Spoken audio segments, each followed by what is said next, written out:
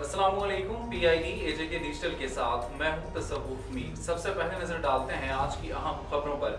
वजी अजम चौधरी अनवर हक ने कहा है कि मकबूजा कश्मीर में इंसानी तारीख के बदतरीन तशद और दीगर ालिमाना गैर इंसानी और जिलत आमेज सलूक पर महजब दुनिया और आलमी इदारों की खामोशी लम्हा फिक्रिया है। वज़ीर अजम आज़ाद हुकूमत रियासत जम्मू कश्मीर चौधरी अनवर हक ने मुतासरीन की हिमायत के आलमी दिन के मौके पर गुफ्तु करते हुए कहा कि अकवा मुतहदा की करारदादों के बरक मकबूजा कश्मीर के अवाम, हिंदुस्तान के बदतरीन जहनी और जिसमानी तशद का शिकार हैं। काबिज भारतीय फोर्सेज ने जगह जगह टॉर्चर सेल कायम कर रखे हैं, जो आम लोगों को गिरफ़्तार करके शदीद जिसमानी तशद का निशाना बनाते हैं। हिंदुस्तान मकबूजा जम्मू कश्मीर पर अपने जाबिराना तसलुत को दवाम रखने के लिए बदतरीन मजालिम उठा रहा है। भारत के बदतरीन तशद और मजमूम हथकंडों का सामना करने करने के बावजूद कश्मीरी अपनी तरीके आज़ादी को मंतकी अंजाम तक पहुँचाने के लिए पुरज़म है।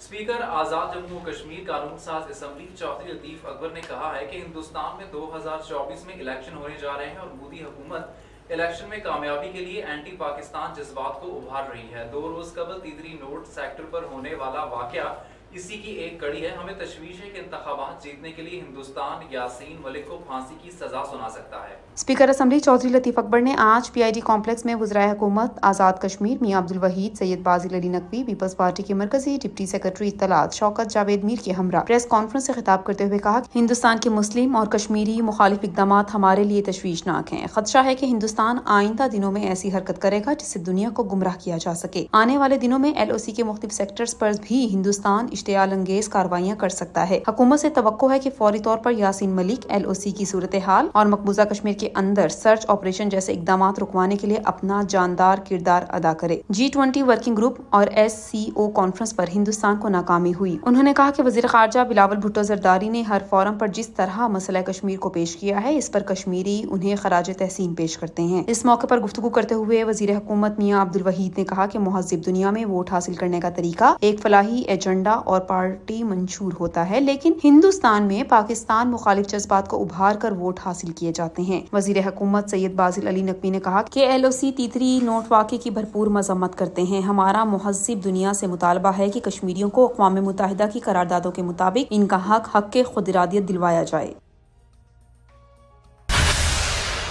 वज़ीर हुकूमत आज़ाद कश्मीर डॉक्टर निसार अंसर अब्दारी ने पाकिस्तान में यूनान के सफीक से यूनान कश्ती हादसे के हवाले से तफसीली मुलाकात की।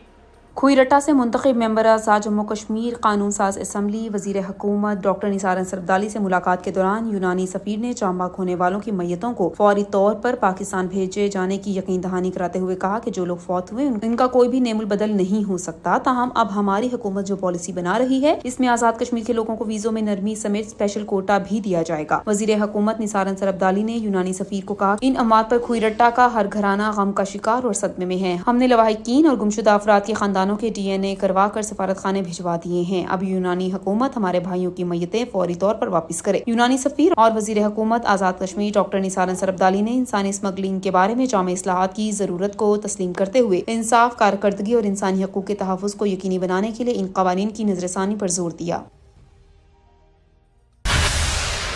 सदर पाकिस्तान पीपल्स पार्टी आज़ाद कश्मीर चौधरी मोहम्मद यासीन ने कहा है कि सानहा यूनान इंसानी तारीख का एक अलमनाक वाक़ है। इसलिए पाकिस्तान पीपल्स पार्टी के गुजरा इस मौका पर इस्तकबाल की सादगी के साथ रखें और ईद भी सादगी से मनाएँ। चौधरी मोहम्मद यासीन ने कहा कि आज़ाद कश्मीर के दर्जनों घराने इस वक्त साने यूनान की वजह से शौक की हालत में है और ऐसे वक्त में इनके जख्मों पर महरम रखने की ज़रूरत है। मैं खुद भी ईद, शोहदा के लवाहिकीन के साथ गुजारूँगा। उन्होंने कहा कि पाकिस्तान पीपल्स पार्टी गरीबों और मुतवसित तबके की जमात है और गरीब तबकात की नुमाइंदा है। हमने मामला पहले भी असम्बली में उठाया, इस मामले को आगे लेकर चलेंगे। हम शोधा को वापिस तो नहीं ला सकते, लेकिन लवाहिकीन की अशकोई के लिए भरपूर किरदार अदा करेंगे। उन्होंने कहा की पीपल्स पार्टी के कारकुनान कोई ऐसा इकदाम न करे जिससे सानहा यूनान के लवाहिकीन की दिल शिकनी हो। बर सगीर के अजीम रूहानी पेशवा, रूमी कश्मीर हज़रत मियाँ मोहम्मद बख्श रहमत के एक सौ सोलहवें सालाना उर्स की दो रोज़ा तकरीबा खत्म हो गई। उर्स की अख्तामी तकरीब में डेप्टी स्पीकर चौधरी मोहम्मद रयास गुजर ने शिरकत की। और उसकी अख्तामी तकरीब से खताब करते हुए डिप्टी स्पीकर चौधरी रियाज ने कहा कि ओलिया कराम की आस्थान रश्त और हिदायत का मंबा है, जहाँ लोग आकर अपनी दिली मुरादें पाते हैं। इन ओलिया कराम ने अपने तस्किया नफ्स से मुतासर करके लाखों के हिसाब से कुफार को दायरा इस्लाम में लाए, जिनके फयोज और बरकत का सिलसिला अब तक जारी है। अल्लाह के नेक और बरगजीदा बंदों में हज़रत मोहम्मद बख्श रहमत ने अपनी शोहर आफा कुतुब सैफुल मुलूक के ज़रिए बड़ा नाम कमाया। इस वजह से बर सकीर में हर जगह सैफुल मुलूक को पढ़ा जाता है। डायरेक्टर जनरल औकाफ सरदार तारिक महमूद रबानी ने कहा की महकमा औकाफ आज़ाद कश्मीर भर में। ओलिया कराम के आस्थानों पर जायरीन की सहूलियात के लिए हर मुमकिन इकदाम उठा रहा है। के डिजिटल से फ़िलहाल इतना ही। मजीद खबरों और अपडेट्स के लिए हमारे सोशल मीडिया अकाउंट्स को फॉलो कर लीजिए। इजाज़त दीजिए अल्लाह नेगेबान